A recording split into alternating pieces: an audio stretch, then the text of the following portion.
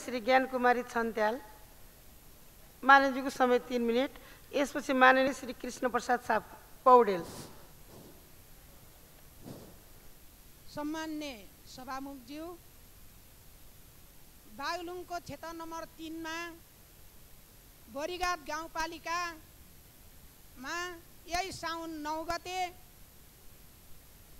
जलजलाबाट आउँदै गरेको जीव दुर्घटना हुँदा बेला चारजनाको घटनास्थलमै मृत्यु भयो। छजना बिरामी आर्मीको हेलिप्याडले एयरपोर्टमा ल्याइदियो।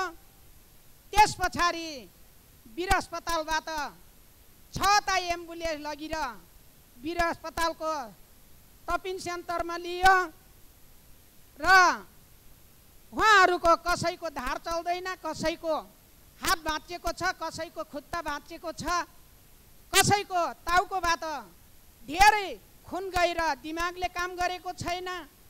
र त्यो अवस्थामा उहाँहरूसँग न त हर्म कब्रा छ न त उहाँहरूसँग पाँच पैसा पैसा छ।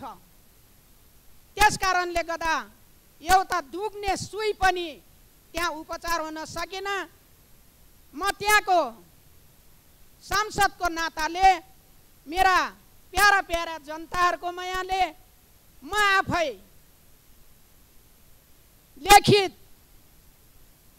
रूपमा जमानी बसेर त्यो छजना बिरामीहरूको उपचार भइरहेको छ र त्यो चारजना घटनास्थलमै मृत्यु हुनेहरूलाई क्षतिपूर्तिको व्यवस्था गरोस् र छजना बिरामीलाई यो सरकारले नि शुल्कै उपचार गरोस् भन्ने म सभामुख मार्फत सरकारको ध्यान आकर्षण गराउँछु।